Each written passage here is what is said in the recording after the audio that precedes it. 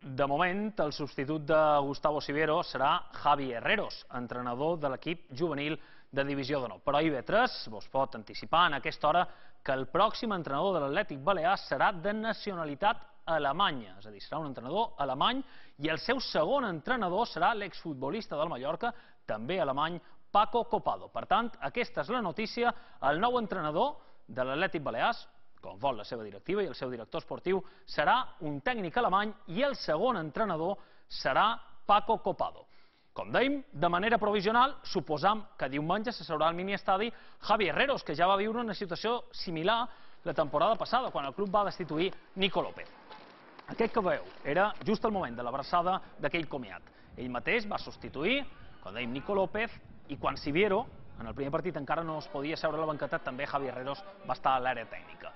va dirigir Herreros l'equip contra, la, contra el Toledo, la Copa Federació i contra l'Elx, a la Lliga de manera provisional. Diumenge també ho farà al miniestadi, mentre el club, com dèiem, tanca el contracte del nou entrenador alemany. És evident que quan se pren una decisió complicada com aquesta eh, és molt difícil que, que tothom estigui ni d'acord ni entengui. Es, està clar que això és un risc que, que s'ha de córrer i naturalment que s'ha canviar alguna sèrie de coses